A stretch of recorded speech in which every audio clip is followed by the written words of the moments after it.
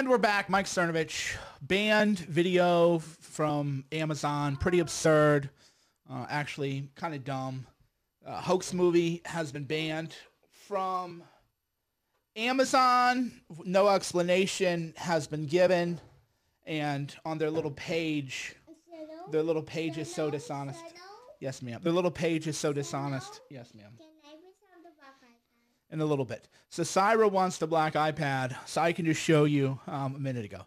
So Amazon, you know, lo- long story short, short story long, uh, we did Hoaxed movie through um, Vimeo only release.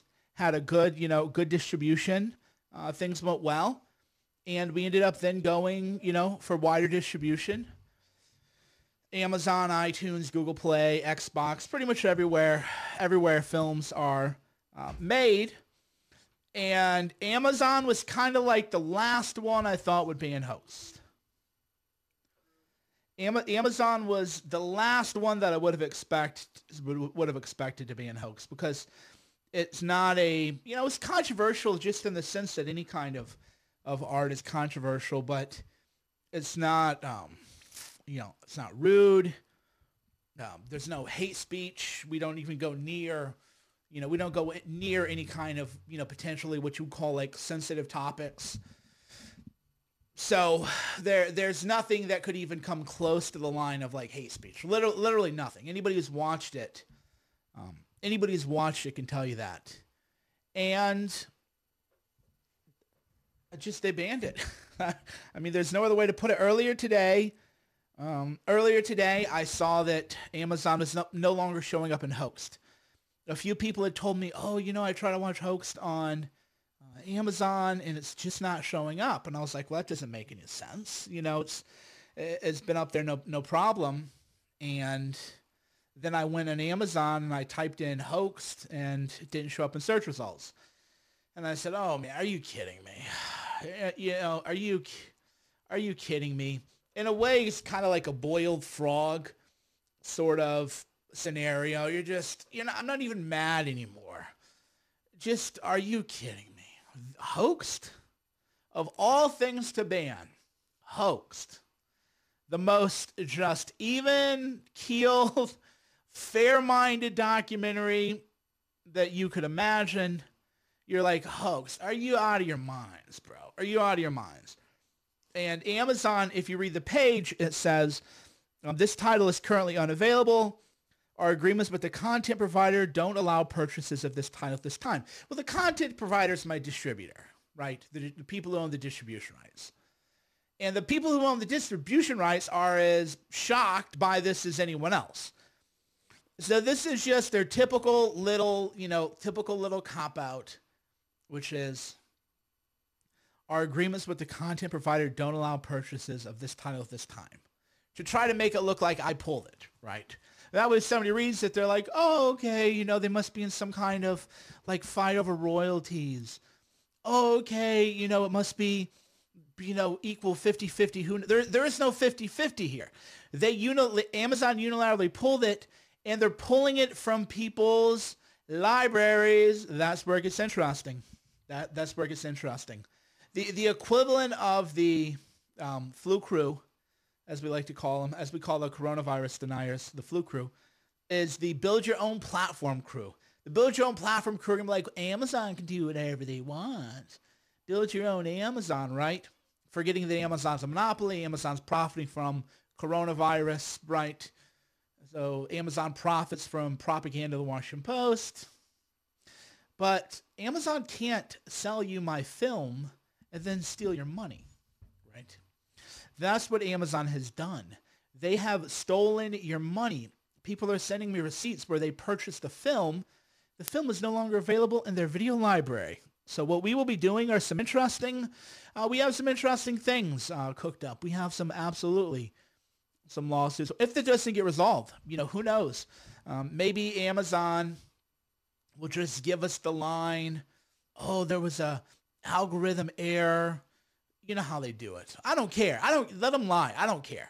They can come say there was an algorithm error and Cernovich is just so dumb he didn't understand it, right? Whatever. Whatever they're, you know, I don't care. Just put the film back up, right? And because lawsuits are a lot of hassle, even when you're the one filing them, even when you have a strong lawsuits, a lot of hassle. Just put my film on there.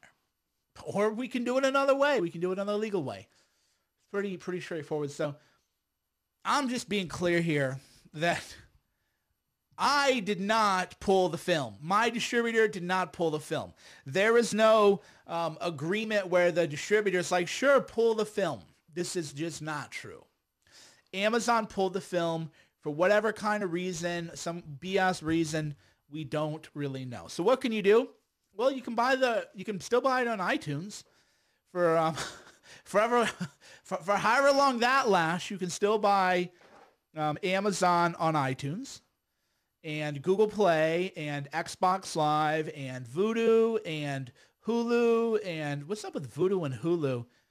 You know, all these weird names. You can buy it everywhere but Amazon now, right? So you can buy it everywhere. Um, you can buy it everywhere on Amazon. iTunes is the best place to buy it probably right now. And hopefully we get it resolved. If not, then I'll just, you know, escalate matters um, in terms of the law stuff. And, you know, we'll do what we got to do. You can also um, contact you can also contact Amazon on Twitter. You can email Amazon customer support. If you have an Amazon account, you can message their customer service. There's, you know, just politely say, hey, you know, I was trying to buy this product and I can't buy it. Or in the case that you did buy it, you know, they've stolen your money because you're it's not available anymore. So that that'll be that'll be neat. But right now, just rent it on iTunes. Right now, you can rent it, stream it on iTunes. You can buy it on iTunes. You can buy it from a bunch of other platforms. I don't know what people use for these kinds of things. And yeah, I don't know what other platforms people use, but I've been told it's on Xbox. So if you're a gamer, it's in the Sony Xbox store, it's in the Google Play store, it's on the YouTube store. It's all over. To me, it's just easier to to tell people that you can get it on iTunes. And yeah, that's it. So, you know, if you want to go right now, you can go to the iTunes store.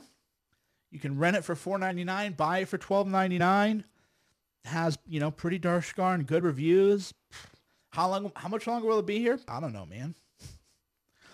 I don't know. We'll see. We don't know though. It might be taken tonight. Might you know might be taken in an hour. You know who who really knows?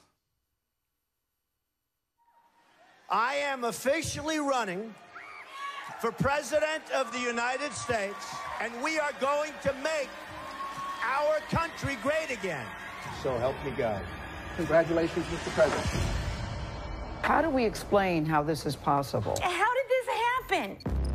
Since Election Day, questions have been raised about the role that false news stories distributed online played in the final result. There's been a lot of talk lately about fake news, fake news, fake news, hoax sites, and hyper-partisan blogs. A threat to democracy all media is narrative.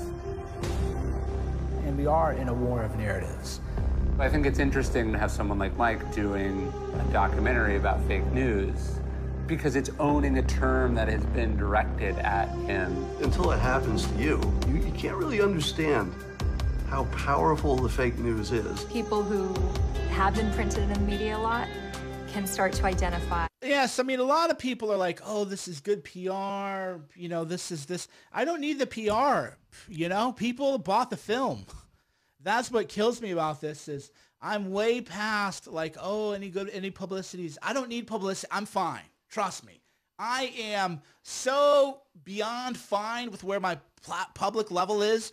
I am three times bigger than I want to be right? That's why I've like fl- flown under the radar in a, in a lot of ways, right? You're not seeing me out there like in, in the way I used to do it, streaming every day and just really, you know, banging every day.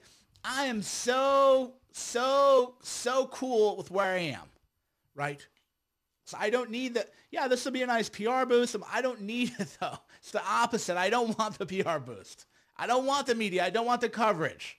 I just want to be able to make my indie films and you know have have them do well enough that I'm not going to end up in the poorhouse doing them. And you know, if I make a little bit of money, this was where I would have made money for doing the film. Actually, all the Vimeo money went to to pay back. So the Vimeo money went to pay back the loans and other things that it took the production costs. So I've got no money from all my work on it. Right. And by the way, people backed it on Kickstarter too. So it was a labor of love. So I was always, I was always okay with that. I was always okay with it being a labor of love. Right. But then we had to borrow some money and, you know, da, da, da, da, da, other things. So the Vimeo paid back the production loans and put us at pretty close to break even. You know, maybe I'm down five grand or 10 grand or something like that. But, you know, close enough that we, you know, we pay back the production loans. And then the Amazon iTunes, that was going to be, you know, the, the money. That was the profit. That, and that would roll into another film. It's not like I'm going to buy a Lamborghini or something, you know. That was just, okay, this cash, the Amazon cash, the, you know, the, the royalties from all these other platforms, that'll go roll into the next film. So it's a little, you know, I'm, I may be being a little understated when I talk about how angry I am, but I got to be careful when I talk about these things. Just I have two kids, I have two daughters. This is like their livelihood, you know.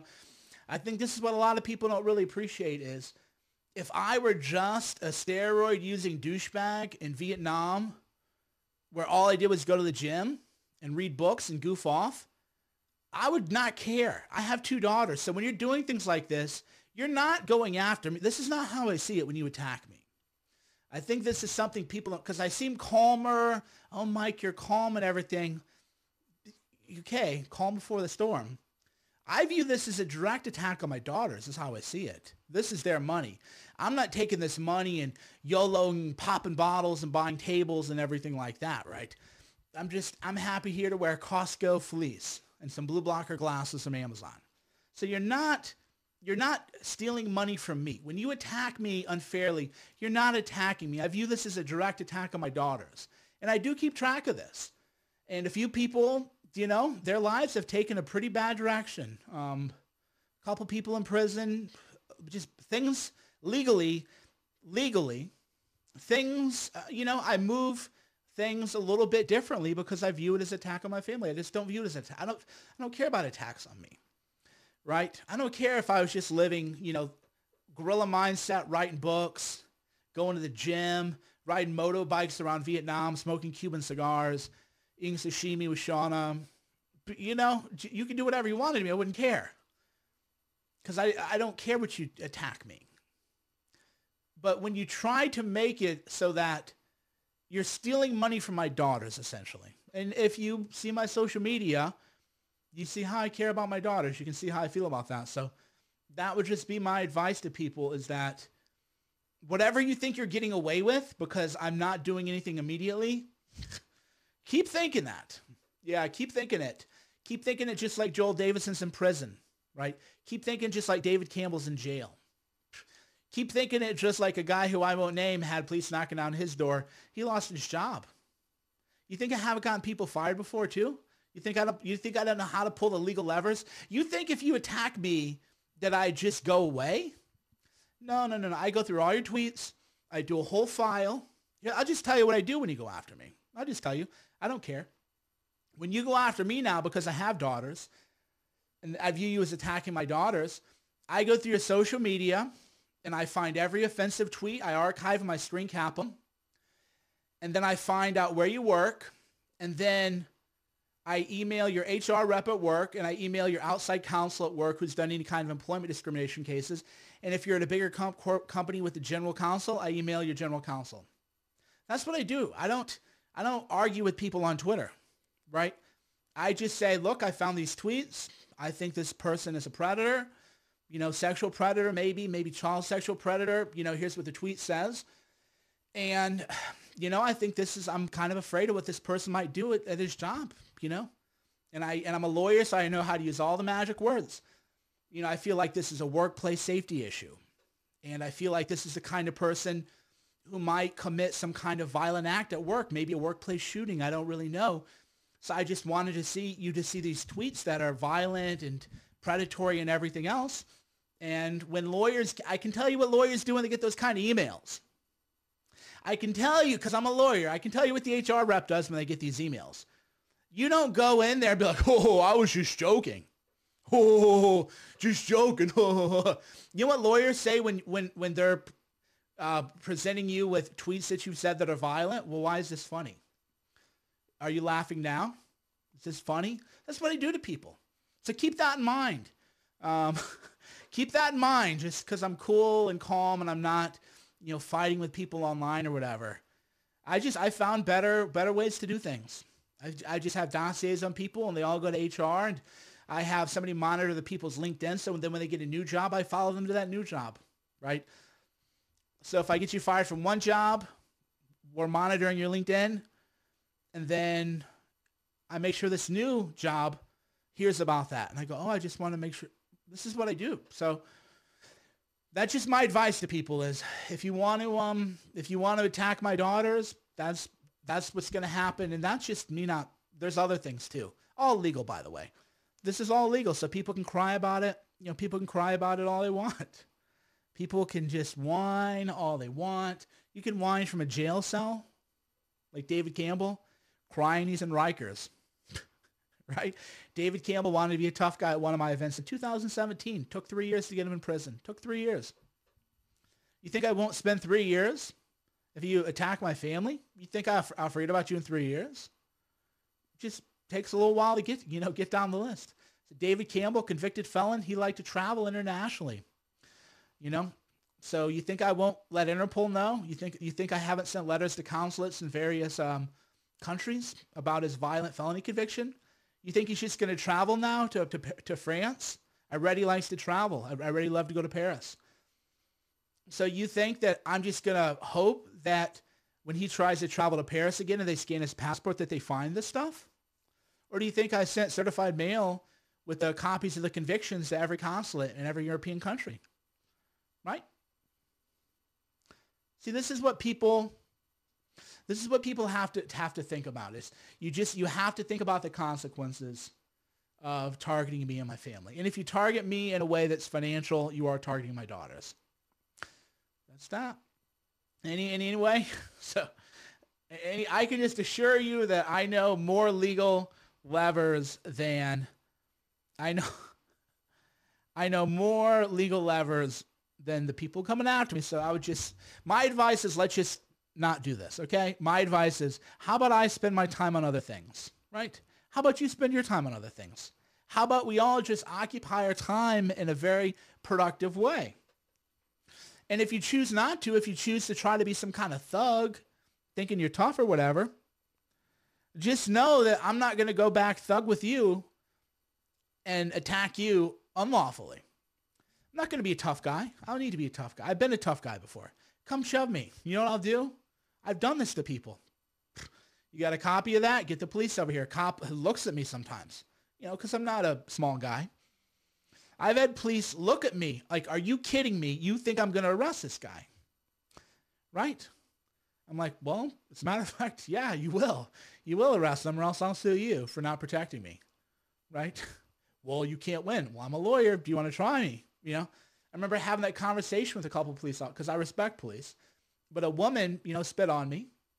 And I, so I called the police. We had it on camera. And the police officer's like, you really want me to arrest a woman for attacking you? I said, yeah, I do actually. They go, well, you know, this is just, they always try to play it out like we don't really know what happened. Oh, the situation happened. And I, so then, you know, I'm very polite and I always say, look, officer, I'm Blue Lives Matter. I support law enforcement 100%. And I go, I'm just telling you that because I just also want to make it clear that I am a lawyer and I'll vindicate my legal rights in court. And I was assaulted and you have evidence of a crime being committed. And if you let this person off, you know, you can claim technically you don't have to arrest her. So I've seen women arrested, back of police cars being pulled away. Right? So you hit me, I don't hit you back. You attack me, try to get me, you know, try to get me banned or something, attacking my daughter's, you know, college fund. I'm not going to do anything violent. I'm just going to say, okay, you're on the you're on the radar now. You're so everything you do is being scrutinized now. And when you eventually screw up, because everybody does, that'll be caught and that'll be cataloged and that'll be sent to your HR department and everybody, you know. So, you know. So let's just again, I'm calling for peace not because not because I'm afraid. I'm calling it for it because people initiate aggression against me and they just have no idea how far I'll take it lawfully, right? They they just they don't know where. Like there's people who who left fake um fake reviews on Hoaxed. I'm going to sue them in their home state for Lanham Act violations, right? So when some person who probably isn't successful, probably they're going to be like, oh, I'm being sued, and they're going to like try to cry that I'm suing them. People are like, why'd you get sued? Well, I left a fake Amazon review. It's like, well, that's illegal. That's violation of the Lanham Act, right? It's like you don't really have a defense. You you don't if you if you watch my if you didn't watch my film and you left a fake review, you don't have a legal defense for that. You can cry about it. Oh, I'm being mean, but there's no defense. You're just you're cooked. You're done.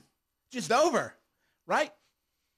So all these people, they're like, well, I didn't know this could happen. Well, should have thought through. So, you know, and that's just a good lesson for all of us, right? Just don't overtly antagonize people. There's no reason to do that. There's no reason to leave fake reviews on people's products. There's no reason to try to get people's livelihoods like mine destroyed. There isn't. I'm not doing anything illegal, even hateful. I don't even talk about hate issues, right? That's what blows me away is like, I don't even talk about things. I just share the news, debunk some fake news stuff, expose some hoaxes. I'm not out there talking about like edgier subjects. I'm pretty milk toast, right? Pretty milk toast. So we should all let's just all be good to each other. Again, not because I'm afraid, but because we all have better use of our time. All right, thanks for listening. Uh, let Amazon know how you feel about them banning a film. Uh, the positive aspirational move, go ahead and watch it on iTunes. It could be gone in an hour from iTunes too. Could be gone tomorrow. I don't know, man. That's not hype. When Amazon came or when Hoax came out, I was like, you better watch it now. It might get banned. People are like, oh, why would they ban it? There's nothing wrong with it. I know. I know there isn't. That's the whole point. You have to change your mind. There's nothing bannable about it.